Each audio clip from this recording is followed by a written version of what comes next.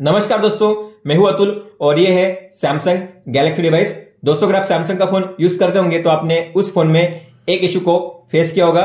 उसमें ऐसा होता है कि आप जो भी फोल्डर क्रिएट करते हो अपने माई फाइल्स ऐप में, मान लो फोल्डर के अंदर फोल्डर या फिर ऐसा कोई फोल्डर क्रिएट करते हो, अजीब सा नाम देकर एबीसीडी एक्स वाई जेड तो सैमसंग के फ़ोन में ऐसी एक सेटिंग से कि सिस्टम डिसाइड करता है कि कौन सा फोल्डर काम का है, कौन सा फोल्डर काम का नहीं है।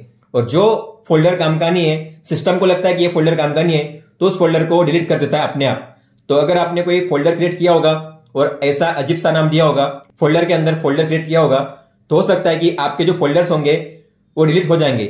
आप आज क्रिएट करोगे, अगले दिन आप देखोगे तो आपका जो फोल्डर होगा, गायब हो चुका होगा। आपने इस इश्यू को फेस किया होगा, अगर नहीं किया तो टेंशन मत लेना, आपका भी नंबर आ सकता है। इसलिए, अगर आप चाहते हो कि आपका भी नंबर ना आए, आपके जो फोल्डर से अपने आप डिलीट ना हो तो आपको एक सेटिंग्स को ऑफ़ करना है। 99% लोगों के फ़ोन में ये सेटिंग्स ऑन है, इसीलिए आपको इस सेटिंग्स को ऑफ़ करना है जल्दी से जल्दी। तो आपको जाना है सेटिंग्स में बैटरी एंड डिवाइस केयर में थ्री डॉट पे टैप करना है, जाना है स्टोरेज बूस्टर में और लास्ट में ऑप्शन होगा, यहाँ पे आप देख सकते हो ऑटो डिलीट अननेसेसरी डेटा और अगर आप इस पर टैप करोगे तो यहाँ पे होता है शेड्यूल कि ये कब होता है, हर रोज होता है, आधी रात में मिडनाइट में ये होता है। और क्या होता है?